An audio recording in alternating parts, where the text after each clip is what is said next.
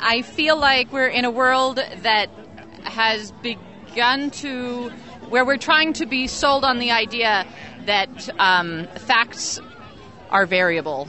And uh, you see her sign here saying, uh, we want evidence based science and uh, I would like my government officials to be uh, functioning based on evidence based science, logic, and facts. And this idea uh, that facts are negotiable um, seems to me like the beginnings of fascism. And when I hear someone telling me uh, that that their belief uh, is a valid fact, um, it makes me very concerned for our democracy. And I'm here fighting for scientific thought and logic and uh, real facts, not lies.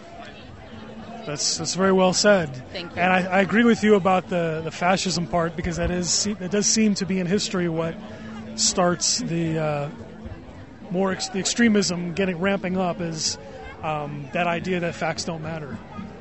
Yes, and and again, you see this other the other side other side of her sign that says uh, science is fact based, not faith based. You don't have to believe it for it to be true. And I think in this country, a majority of Americans believe that. A, a majority of Americans are looking for uh, evidence based facts, and we understand what that means. And though we have a figurehead right now who is trying to sell us on some crazy ideas of uh, lies framed as alternative facts. Um, I think a majority of Americans aren't buying, and uh, and I think we're out here to say that. So I'm very very hopeful for our future. I think this was a wake up call for America, and I think that we are going to come back stronger than ever.